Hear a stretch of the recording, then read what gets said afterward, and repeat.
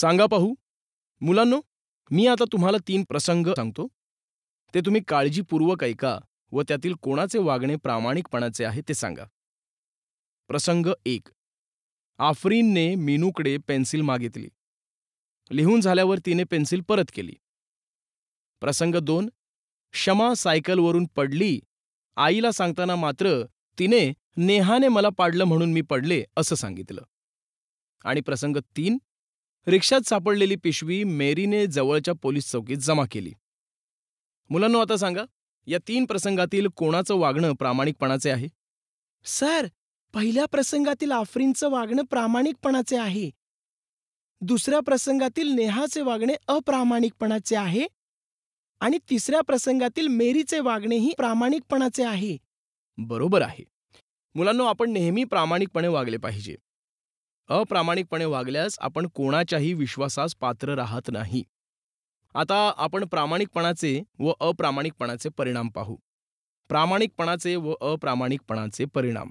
मुलांनो आपण समाजात कुटुंबात वावरत असताना आपल्या हातून अनेक चांगल्या वाईट गोष्टी घडत असतात. काही गोष्टी नकळत घडत असतात. कधीकधी आपल्या हातून चुकाही होतात.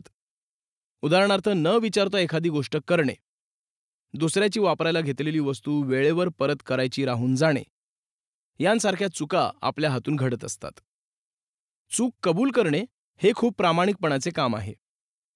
आपल्याकडून एखादी चूक झाली आहे ही गोष्ट आपल्या लक्षात येताच आपण त्याबाबत आपल्या आईवडिलांशी भावंडांशी मित्रमैत्रिणींशी मोकळेपणाने बोलावे.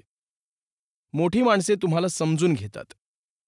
त्यांना झालेली गोष्ट खरी खरी सांगितली की ते आपल्याला योग्य मार्गदर्शन करून चूक सुधारण्याची संधी देतात. तसेच त्यातून आपला प्रामाणिकपणा दिसून येतो. आपल्याला अशा गोष्टीतून त्यांचा विश्वास संपादन करता येतो.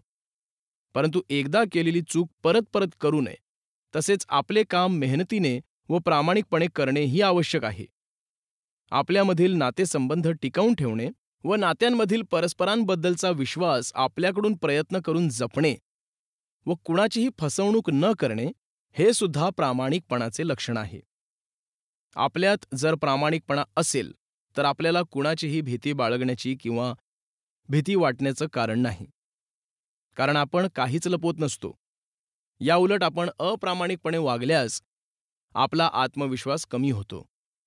अप्रामाणिकपणा म्हणजे एखाद्याला फसविणे खोटे बोलणे यांसारख्या कृती आपण केल्या तर आपले खोटे बोलणे उघडकीला येईल की काय याची सतत भीती वाटत राहते. कुटुंबात वावरत असताना तसेच आपल्या सार्वजनिक जीवनात म्हणजेच समाजात वावरतानाही प्रामाणिकपणे वागले पाहिजे. आपण जर प्रामाणिकपणे वागलो तर आपल्याबद्दल सर्वांच्या मनात विश्वासाची भावना निर्माण होते व आपल्याबद्दल सर्वांनाच आदर वाटतो. समाजातील व्यक्तींकडून आपल्याला मान सन्मान व प्रतिष्ठा प्राप्त होते. तसेच प्रामाणिकपणा ही आपली ताकद असते.